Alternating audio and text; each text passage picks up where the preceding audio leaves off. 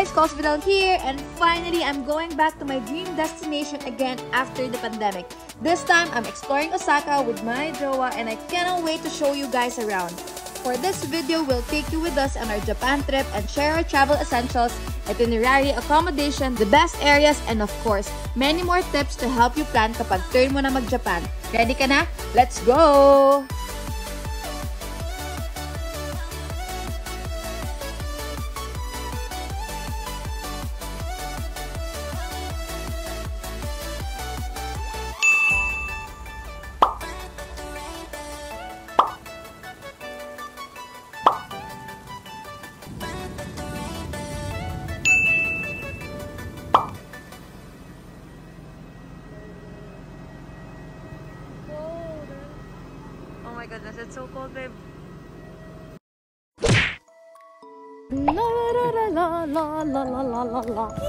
Touchdown, Osaka. We are now in Osaka, and the current weather is seven degree Celsius. This is not seven. This is colder than seven. Okay, colder than 7 though. It's colder than 7 degrees. It's 6.30 p.m. and right now we're about to check in our Airbnb. So our Airbnb link is on the description below. It has the best location, affordable, and I like how minimalist their photos look like. Ayan siya guys. So we're already on the way to the Airbnb place. We're coming from gate 7 sa this station, Osaka something something. But basically, main station to ng Osaka. So anyway, our Airbnb is just how many minutes away, love? Five From the minutes? station. Yeah, just like 5 minutes walk lang. And it's very convenient kasi it's not just 5 minutes walk from the station, it's also a few minutes walk from Dotonbori, which is one of the most popular place here in Osaka.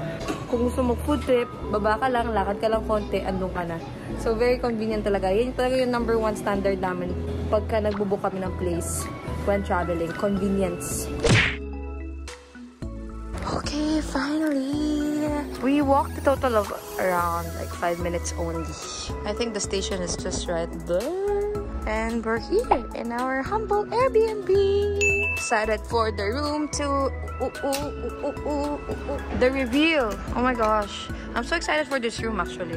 Ooh, so we have a lot of doors. wow, we have the shoe box over here first. Ano to? Ang daming, there's a lot of doors, babe. Oh, ah, the bathroom! And their bathroom is very, very Japanese. This one is our... Oh, we have laundry! Finally, yes. They have laundry, babe. Oh, that's one of the reasons why I chose this. Yes. And this one for sure is the... Ooh, cutie, very Japanese! So this is the toilet. This is the bathroom. This is the washing laundry area. And this is our bedroom. Oh my God. Yung amoy niya, guys, ang ganda. Very homey. It feels very, very homey. I love this. So we have a king-size bed, a cutie patootie dining table in front of the TV. We have TV here. Ayan, oh guys, so cute. I love this. And if you would sleep and I watch TV, And we have here a mini, a kitchenette. Ah, nice. Parang bago pa siya, guys. It feels like it's we're in IKEA, babe. No? Ay, ang cute lang. We even have slippers because no shoes are allowed here. Tama nga naman. So, yeah. This ends our mini room tour. Guys, the Airbnb link is on the description below. So, yeah. And very, very convenient. This is what I love about the Airbnbs that we choose. We really wanted very convenient. Dapat super duper short lang ang walkathon going to the main station. And dapat yung area na pagsistayan namin is a main area para mas madali kumain or maglibot-libot, etc. Oh. What? Hello, Miss Carly. Oh, there's another room. Cute. There's another room here. Oh, there's a balcony. Hindi ko na-mention, guys. We have a balcony here. Can you open? Whoa! And this is our view. Wow! Wow, highway. For your additional information, some few tips in where to stay here in Osaka. So for us, we stayed in the Tonburi area, which is a prime location. But if you're looking into more options, I highly recommend staying either in these two areas. First is the Namba area, which is our area as well. It's a bigger area compared to the Dotonbori. Dotonbori kasi is part of Namba. Namba area is where the JR Namba station is, which is one of the main station of Osaka, Dotonbori. If you prefer a livelier food trip talaga, this area is perfect for you because Dotonbori is in this area. Second area is the Umeda area, which is where the Osaka station and Umeda station is. These two stations are the main top, as in top talaga, na station in Osaka. So, this means, dito talaga kayo lagi manggagaling if you're going to Kyoto, Nara, if you also want to be um, near Umeda Sky Building or yung F5 Ferris wheel, ito yung area na yan. But either way, it's just one train station away lang naman yung both areas. It's either you can take the subway or the JR line. So what we're doing right now guys is we are withdrawing an ATM here in Namba Station since we prefer withdrawing rather than doing an exchange rate since we think it's cheaper, mas hindi lugi kaysa yung mag-exchange rate. Yesterday kasi guys, we went to an exchange rate machine and the currency conversion rate is 1.93 peso. So for here, it's 2 point, mas mataas siya, mas hindi lugi. So this is the station that is super near our Airbnb, Diponbashi. This is always our point of origin. It's a train station away from Namba Station, which is one of the main stations in Osaka. So for this guys, I'm gonna be explaining to you the transportation system here in Japan. Medyo confusing siya. Maiiyak na ako. Ang hirap niya i-gets. But what I can explain to you and what we usually do while commuting around is rely heavily on Google Maps. Google, Maps, and there's a Japan travel app as well. So Google Maps and Japan. Japan travel app. When do you know when to use Google Maps or this app? I use both because the Google Maps is not completely accurate, and sometimes the Japan travel app gives a bit more information about the station number. So sometimes it's easier to know the station number you're going to rather than the station because the stations are very hard to pronounce. But if you know if you know you're going to 14 or 16, it's a lot easier to keep track of which direction you're going. So the difference between both of them, they have the same results, same routes that they will suggest to you, but Japan travel app is more specific. So for example, it will tell you if you're going from K from K17 to K19.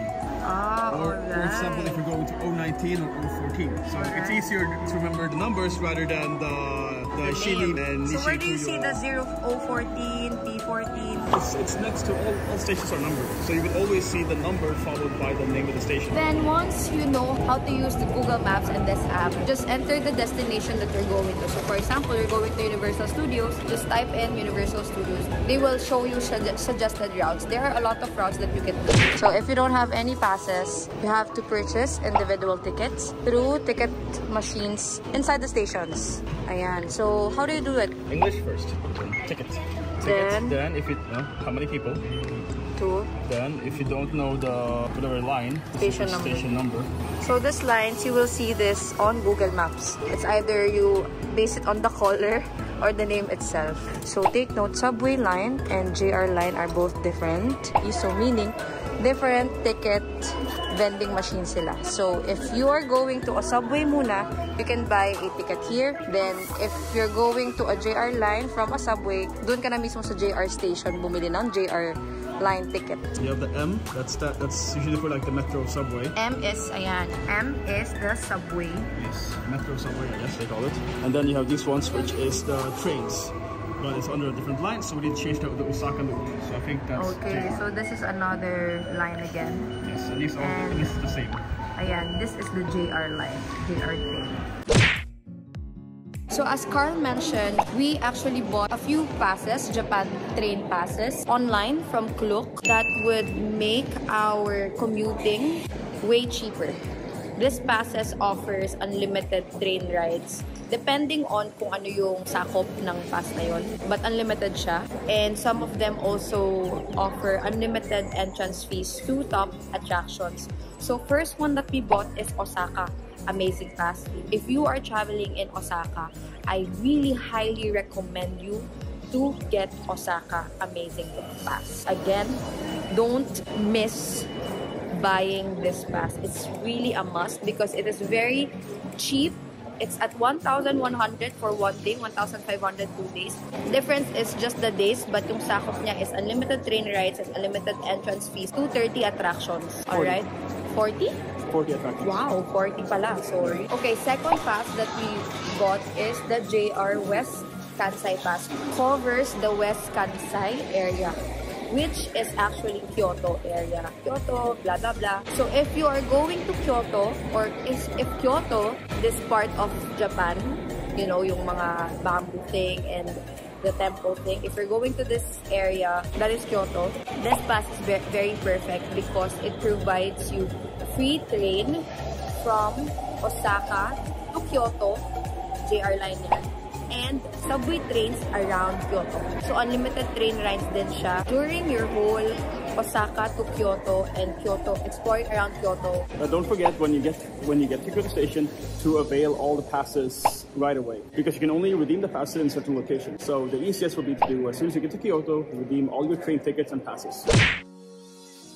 Hey guys! So, for some tips and guidelines on how to get to Osaka City or mismong the city from Kansai Airport. So, as you can see guys, for us, we didn't really came from Kansai Airport because we flew from Manila to Nagoya, which is on a separate vlog. But for your information then guys, para alam nyo. So take note guys, in the airport, once you landed, then went to the arrivals area, connected na po ang train station doon. So punta lang kayo directly to the train station. You can already access the train going to Osaka. A way going to Osaka city from the airport has two options. First is the regular train. Second is the express train. First option is the regular train, which is the Nankai Airport Express.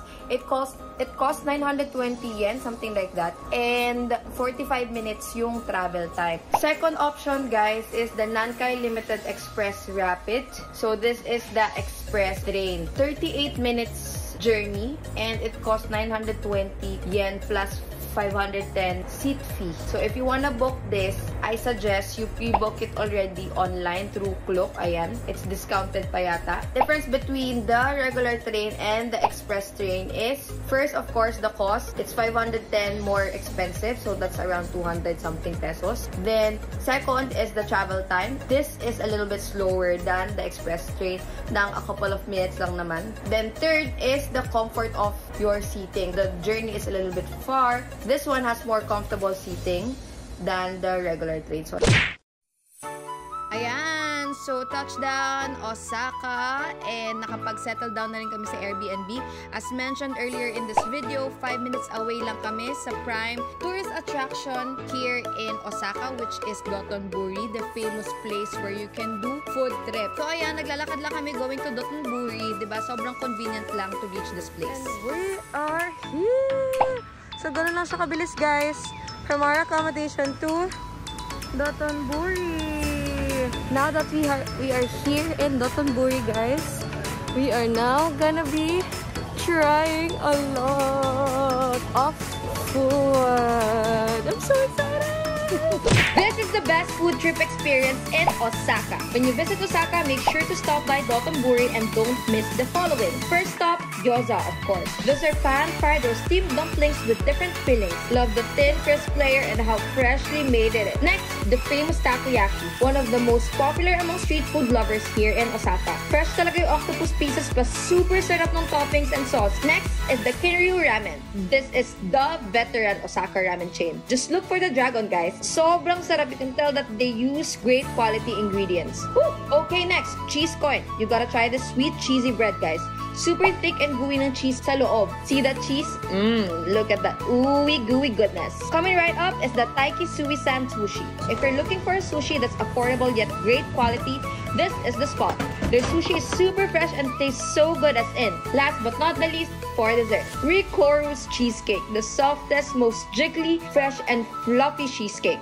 This is actually Osaka's most beloved cheesecake. We had a takeout and brought it home. So we're having breakfast here in Family Mart. Tuwa na ako ng boses, first day pa lang. So usually guys, in the morning, on the go kami kasi we always want to be the first ones gonna arrive in the tourist attractions. So we don't really have the time to sit in a restaurant and eat breakfast. So what we usually do is just buy stuff from the convenience store. Actually, okay yung mga food nila dito eh. Pakita ko sa inyo. May mga food choices sila na parang restaurant level. For example, this one is very cheap. 138 yen lang. What I ate is the spam, this one. Ayan, so may mga ganito. And it costs 204 yen. Very cheap. This one is 462 yen. 369 yen. Ayan, so marami pa yan guys. May mga ramen pa nga oh. This is 389 yen. Good morning! Ooh. Good morning, Osaka. Good morning, Osaka! And yes, sir! As you can see, that is Namba Station. Napansin ko guys, laging mga neutral colors yung mga sinusuot nila dito. Ako lang yata yung naka super bright red. See, everyone is wearing black. So we bought Osaka Amazing Pass from Klook. Siya guys. It's okay. From the voucher, we will just claim it here in this office to get the real pass. Alright, so we got our Oma Omaza Osaka Amazing Pass already. So we picked it up here in the shop. It costs this amount. So to explain guys, this Osaka Amazing Pass, basically an unlimited pass for a day or two, depende sa inavail nyo. So for example, if it's one day pass, you have unlimited access to metro stations, subway stations around Osaka and unlimited use of the buses. Aside from that, hindi lang siya unlimited use of trains and buses. It also has free access to several attractions right here. Ayan, so ang dami guys. That already includes the top most famous attractions here in Osaka like Osaka Castle, Umeda Building, etc. So now it's time to explore Osaka! Ayan! Let's go! For your reference guys, here is our itinerary for the day. Take note, mas marami pa kayong pwedeng puntahan compared to this table. But what we did is pumili na lang kami ng mga top attractions that we can visit in a day. This table shows the places to visit with regular entrance fees but take note if you have the Osaka Amazing Pass, free na lang yan. Makikita nyo rin dyan ang nearest subway stations to the site. So for our first stop, Osaka Castle. This is the most popular landmark and definitely a must visit in Osaka, guys. I could do it again, but further back. I actually have a little thing in my... Love, my feet has something black. So when I smile, feels like bungit. Nakaka-amaze makita in person, especially the famous stone walls. Our regular entrance nito is 600 yen. Travel time from our Airbnb is just around 31 minutes. So from Osaka Castle, 11 minutes walking distance lang to Osaka Jogo Zabun Boat Pier which will take you around Osaka Castle. 20 minutes yung ride and super worth it because you'll see the view of the castle from a different perspective. Regular entrance fee is 1,500 yen. So next stop, We're already here in Umeda! Sky Building. Ayan.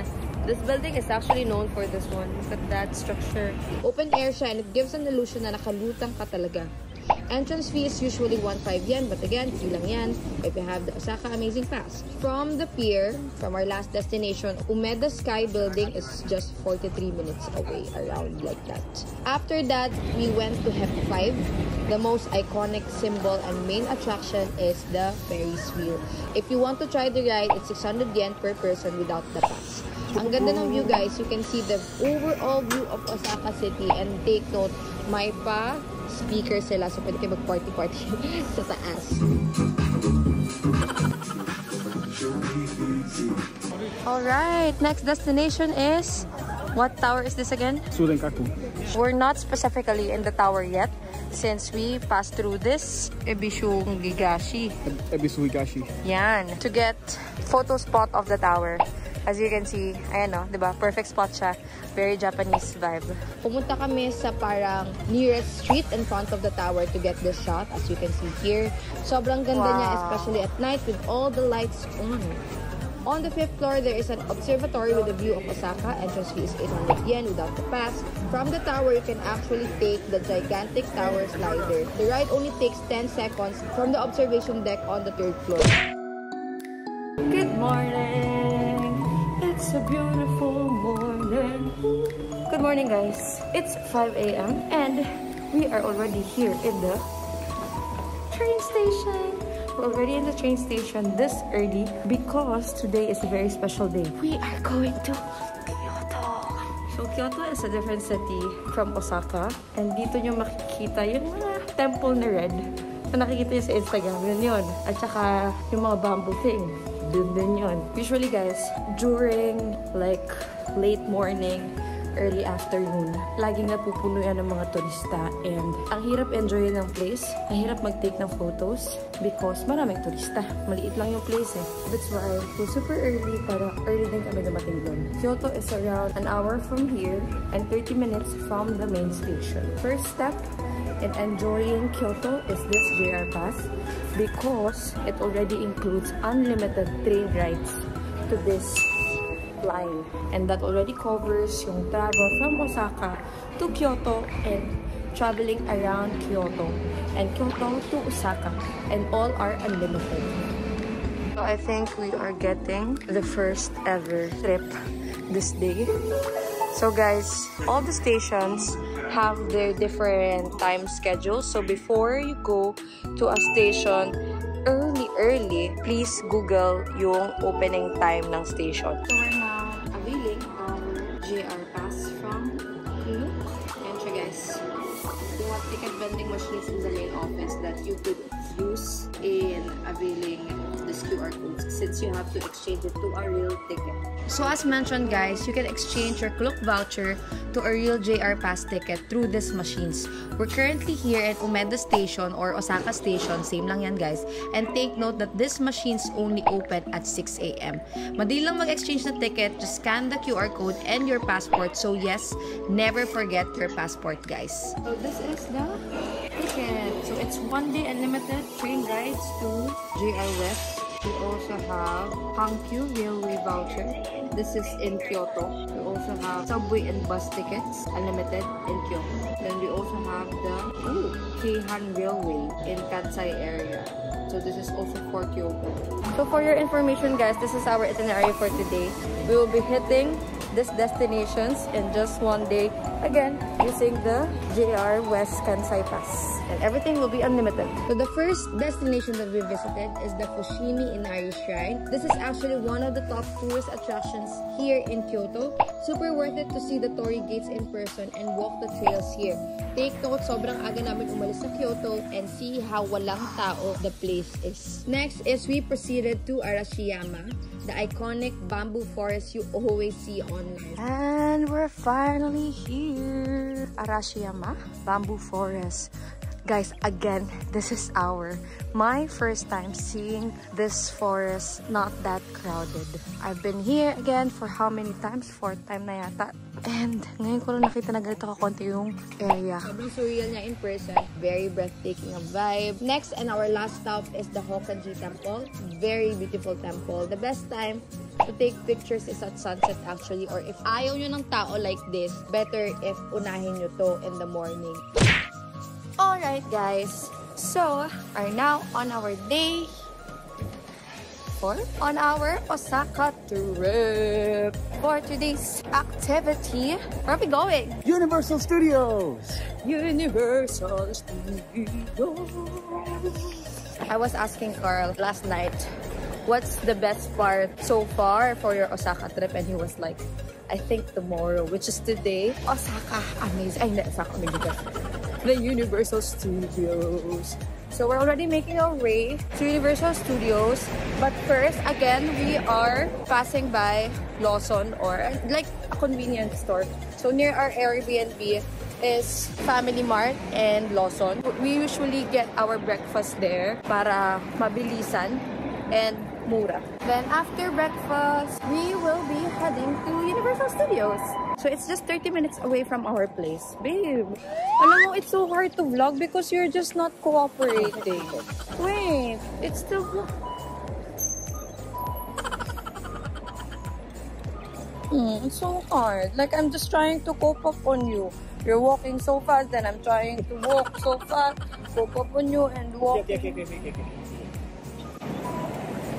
Universal Studios is just 30 minutes away from our accommodation. And take note guys, again, we already purchased our entrance online in advance through Klook. And discounted siya from this price to this price. Ayan, so nakakatipid. Eh, 2 bucks pa kami. So nakatipid kami ng ganitong price. Oh my God! Currently here in Universal Studios, Osaka. And of course, I'm gonna be taking you to our adventure here in I bought a ticket na online on Klook. It's discounted by the way. And because of this, I don't have to line up on the ticket booth behind me.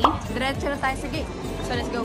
Ayan! So nakapasok na tayo sa Universal Studios! This is actually one of the highlights of this trip.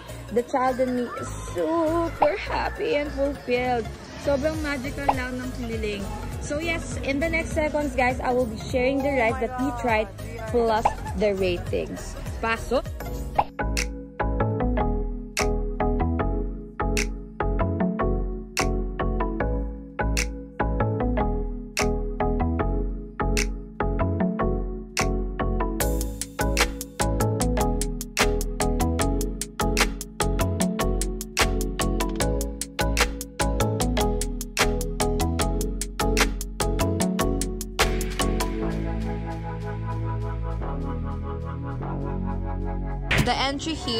In this area is limited. So what you're gonna do for to be able to, to enter is secure a, ayan, an area time entry ticket. Then you can already get that through the official app. Okay. 420. Okay. Okay. Please come back 420. Okay. Okay. Yes, thank you. Wow. So now it is 12. 12.20 and the earliest available time 420. is 4.20 p.m. So when you downloaded the app, You basically have to register your uh, pass QR code. QR code. yeah, scan the QR code. There's a scanner in the app itself. Yes. So you scan, Then you scan the enter QR your code, name. And then you enter your player whatever player name. Player name. Yeah. Yeah, so it's Cal's or Calls. Yes. And then, Then- you, and then you select your names and then you select the available time. All right. So I think this will only work if you have a pre- pre-bought ticket from Klook because otherwise you won't get a QR ticket or a ticket until you get to the park. Okay, so it's really nice if you pre-book your ticket so that you can already So you can already register. reserve on the application itself. If you didn't pre-book your tickets and you don't have the app, you can actually get it in the Central Park here in Universal Studios. Bye! We're already leaving our Airbnb. Parang ang bigat kasi na-attach na ako sa Airbnb. How was your stay here, babe, for the past days? Love it. Yeah? Yes. Very convenient. Very convenient, no? That's the first thing that is really nice about this Airbnb. Also, also very very comfortable in general. Yeah, actually, we really love our Airbnb here in Osaka. I we really highly recommend it. It's very worth it. Ang ganda kasi from the very tiring tours that you do the whole day, you come home, heater on, higa ka sa kama, kasi ang lambot ng kama, then then we always have a good night. As in talagang, ang lambot ng kama guys, ang lambot din ng pillow. and we love our, uh, we love Heaters, how, ba- heaters, bathtub. yeah, and it's spacious and it's spacious. Usually here in Japan or Osaka, the hotels and other Airbnbs are so small, but this one is very very spacious and we really love it. So yeah, let's go home. Bye bye. Okay guys, last full day here in Osaka. And for today's activity, we will be heading to Nara. So guys, this might be a little bit confusing because our way going to Nara is a little bit different from the usual thing because we are using a different pass which is this one, a Kinetsu Rail Pass 5 Day Plus and this is highly recommended if you are hitting not just the Kansai area but Nagoya, Iseshimi, and Mi area. And for us, later, we will be traveling to Nagoya. That's why today, we availed the pass. You might have a different route from Namba, but for us, we are just one train away from Nipponbashi, which is our origin station. And it will only take us how many hours? 40 minutes? 40 minutes. Ayan lang siya. So, ito yung origin station namin. We will just ride the Kintetsu line. Then, that's it. We're gonna be in Nara. Then, from Nara, access the tourist attractions. Then, head to Nagoya already. Ayan. So, we just arrived Nara Station. And we have our bags here. The first thing we do before we explore around is leave this to the lockers. This is actually what's nice about the train stations. Lagi silang may mga coin lockers like this. And there are big ayan, lockers that is perfect for big baggages. Ayan. Wow. It cost us at 700. It should be coins. Don't worry if you don't have any change. May mga change machines there. And the duration of this one is one day. New day starts at 1 a.m. So it's 1 a.m. to 1 a.m. Now that we're here in Nara, we are gonna be exploring Nara. These are the places that we're gonna visit. Ayan. Good news, they're just all close with each other. Ayan, no? Just 15 minutes It's literally away. one one straight road. This trip is actually very quick, guys, but we made sure to hit the areas we want to visit. As you can see, we didn't visit all the top recommended attractions in Nara because we just really want to see the deers. So, but for your reference, guys, here's a suggested itinerary. The best part is walking distance lang ang attractions from one another. As for us, we prefer to just visit Nara Park and some of the temples So- nearby. So from Kintetsu Nara Station, Nara Park is just 5 minutes away. The deers are super cute and friendly. Sobrang saya mag-take ng photos with them. Entrance fee is free because park lang talaga siya. But if you want to buy snacks for the deers para pansinin ka ng mga deers, you can do so for 200 yen. May mga small stalls outside Nara Park na nagbebenta ng mga ganyan. Princess. so heavy. I'm so tired.